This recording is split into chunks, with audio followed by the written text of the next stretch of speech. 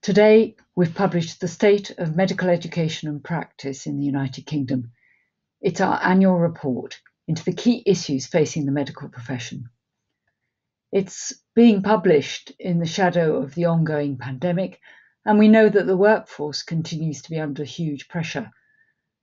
The impact of the virus on the physical and mental health of patients and doctors can't be underestimated.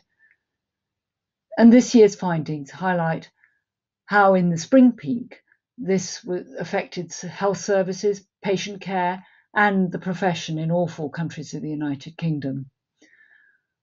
Whilst uh, doctors' experiences of the pandemic have been extremely diverse, the change and disruption to medical practice as well as education and training have been felt almost universally. We've heard about some positive changes, particularly about a greater sense of team working, which has improved doctors' workplaces. But we've also heard that those from a BME background are much less likely to share the positive experiences of their white colleagues.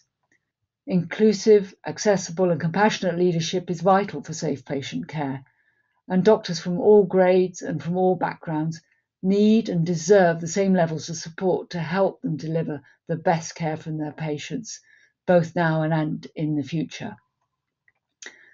Despite the challenges you've faced this year, there's so much to be proud of. Thank you for everything that you've done and continue to do through this really difficult time. Thank you.